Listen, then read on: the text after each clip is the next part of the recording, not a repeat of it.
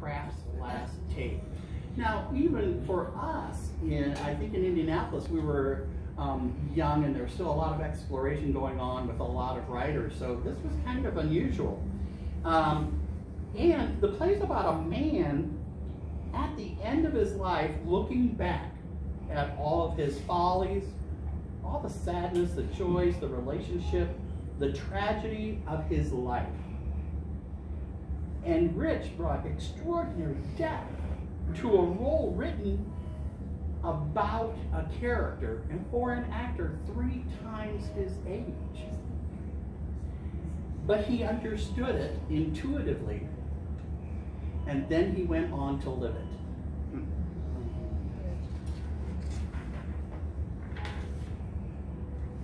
He allowed us to do everything, 10 artists, all with various interests.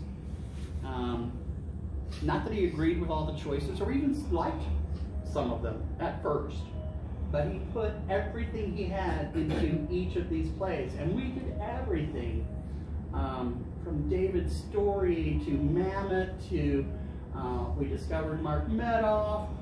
We went to uh, we did this wild production of the Menaechmi, uh, where Larry played one of the brothers to a, a, one of our uh, African American company members. We were twins. And you were twins. Yeah. yeah. and we put out a lot of every comedic group you could think of into that production. And this was before Rich started doing, I'm just going to say the silly roles that he did because, oh boy, I'm going to talk about some of those. but he encouraged us to find our voices, which was, which was really smart. And we didn't even know that that's what was happening. Um, individually, we were finding our voices. Collectively, we were finding a voice. And we did theater for two years straight, nonstop. I'm talking a different production every single month. And in between at night, we, we would just hang out and do skits and songs and poetry for one another until the wee hours of the morning. Back then, we were into Courvoisier and not tequila.